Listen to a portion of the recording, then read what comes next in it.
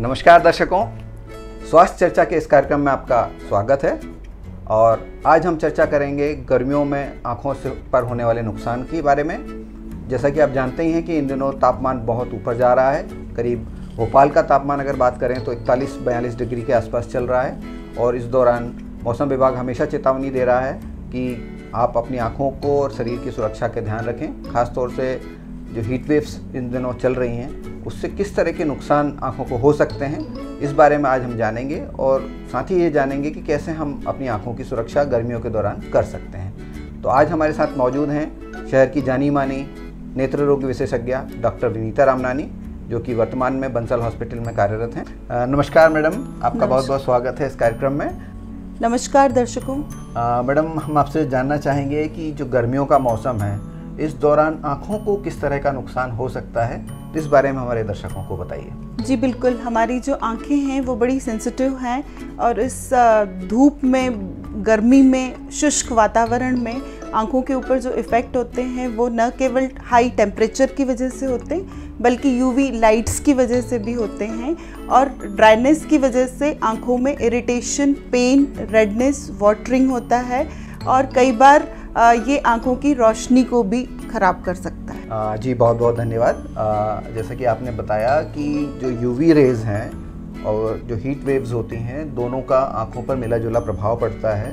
तो ये आपने जैसा बताया कि यूवी रेज हमें बहुत ज़्यादा आँखों को नुकसान पहुँचाने का काम करती हैं। तो इस बारे में थोड़ा और ज़्यादा प्रकाश डालें कि यूवी रेज किस तरह से हमारी आँखों को अफेक्ट करती हैं। यूवी लाइट्स जो होती हैं वो हमारी आँखों के कॉर्निया लेंस और रेटिना पे प्रभाव डालती है। जो आँखों की रेट, रेटिना पे अगर डैमेज होता है तो उसे मैकुलर डीजनरेशन कहते हैं और उसमें विज़न कम होने की संभावनाएँ रहती है। कैटरेक्ट अगर लॉन्ग टर्म यूवी एक्सपोज़र है तो कैटरेक्ट बनने की भी धीरे धीरे करके संभावनाएँ बढ़ती चली जाती है। लेकिन जो कॉमन प्रॉब्लम यूवी लाइट की होती है, वो होती है कॉर्निया के ऊपर, यानी कि फ़ोटो कैरेटाइटिस जिसमें मरीज़ को आँखों में दर्द होता है, बहुत ज़्यादा चुभन होती है, आँखों में आँसू आने लगते हैं और वो लाइट को बर्दाश्त नहीं कर पाता है और ऐसे में मरीज़ को काफ़ी चकचौंध होती है देखने में और आँख खोलने में।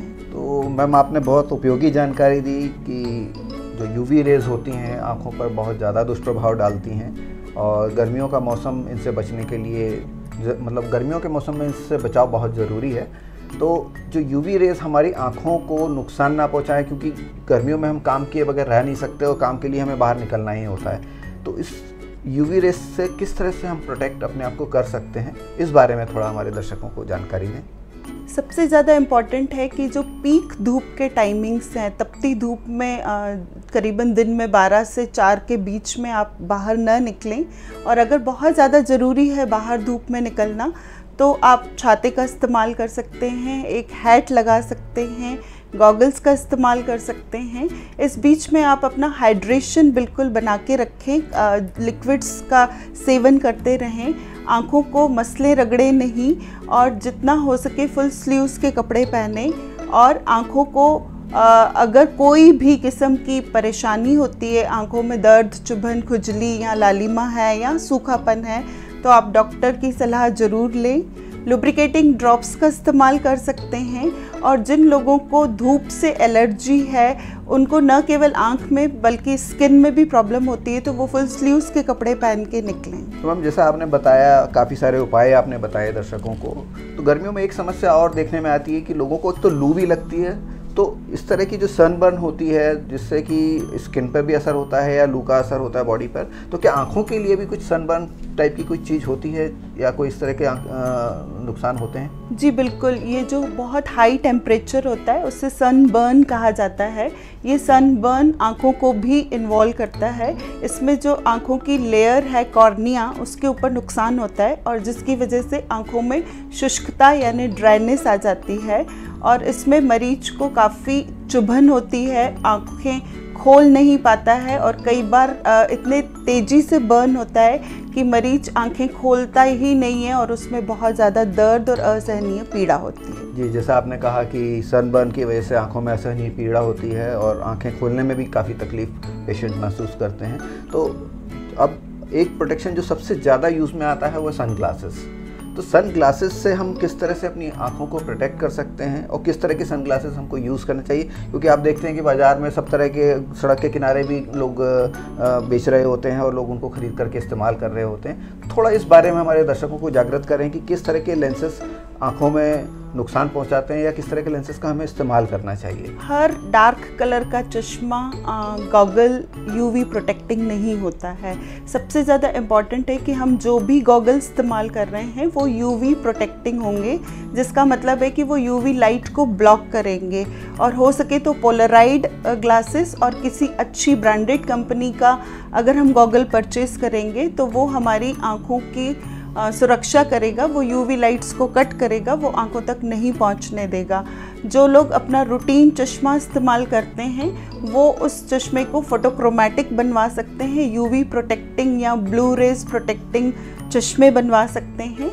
जो लोग कॉन्टैक्ट लेंसेज यूज़ करते हैं, वो अपनी आँखों का विशेष ध्यान रखें, जिसमें कि आँखों को ड्राइनेस होने की ज़्यादा संभावना रहती है ऐसे मरीजों को तो वो इन दिनों गर्मियों में वो अपने चश्मों का इस्तेमाल करें। गॉगल्स वो भी यूवी प्रोटेक्टिंग इस्तेमाल करेंगे तो ज़्यादा अच्छा रहेगा। जी, जैसा कि आपने बताया कि जो चश्मे हैं, उसमें भी हमें उनके इस्तेमाल में सावधानी बरतनी चाहिए। किस तरह के चश्मे हम इस्तेमाल करें उस के बारे में आपने बताया। जैसे कि आपने मेरे पहले प्रश्न के जवाब में कहा था कि जो यूवी लेयर्स होती हैं या यूवी रेज होती हैं, उसकी वजह से हमारी आँखों में कैटरेक्ट भी हो सकता है। और चूँकि गर्मियों के मौसम में एक मिथ है कि लोग अवॉइड करते हैं कि सब गर्मियों में टाँके पक जाते हैं या गर्मियों में मतलब कैटरेक्ट की सर्जरीज नहीं करानी चाहिए। तो क्या ये मिथ है या सच्चाई है? इस बारे में थोड़ा हमारे दर्शकों को बताएँ। मोतिया बिंदु यानी कैटरेक्ट एक उम्र से बढ़ती हुई लेंस की धुंधलेपन की निशानी है, जिसमें यूवी लाइट का एक रोल है कि एज के साथ में अगर खान पान सही नहीं रहा है और यूवी लाइट को एक्सपोजर है स्मोकिंग एडिक्शन है तो ये हमारे सेनाइल कैट्रिक यानी एज वाले कैट्रिक को जल्दी आने के लिए आ, कारगर रहेंगे। तो हमें आ, सबसे ज़्यादा इंपॉर्टेंट ये है कि इन सब चीज़ों से बचें ताकि हमको कैट्रेक्ट नहीं हो। बट अनफॉर्चुनेटली अगर कैट्रैक्ट हो जाए तो उसका ट्रीटमेंट केवल सर्जरी ही रहता है और ये सर्जरी जो होती है, वो 1.2 मिलीमीटर mm से लेके 2.8 मिलीमीटर mm के इंसीजन से होती है और ये स्टिचलेस होती है, जिसमें कि टाके नहीं लगाए जाते हैं और जो रिसेंट पद्धति है, उसमें फेक को इमल्सिफिकेशन और फोल्डेबल लेंस लगा के सर्जरी कंप्लीट की जाती है, जो जिसमें कि हमें कोई आँख में इंजेक्शन्स भी नहीं लगाने पड़ते हैं। एक आई ड्रॉप के ज़रिए हम आँख को सुन्न कर देते हैं और उसमें कोई ड्रेसिंग या पट्टी की भी ज़रूरत नहीं होती। तो ऐसे में मुझे नहीं लगता है कि गर्मियों से हमें कोई प्रॉब्लम हो सकती है कैट्रिक सर्जरी में। हम किसी भी सीज़न में कैट्रिक सर्जरी करवा सकते हैं। जी तो जैसा आपने बताया कि जो एक कॉमन भ्रांति है कि लोग ये मानते हैं कि गर्मियों के सीज़न कैटरेक्ट सर्जरी के लिए उपयुक्त नहीं होता। आपने बताया कि किस तरह से हर सीज़न में कैटरेक्ट की सर्जरी सेफ़ है, क्योंकि आजकल तकनीक बहुत अच्छी हो चुकी है मेडिसिन बहुत अच्छी आ रही हैं, और जो हाइजीन है, इसमें भी काफ़ी सुधार हुआ है। आम व्यक्ति भी इस बात का बहुत ध्यान रखने लगा है।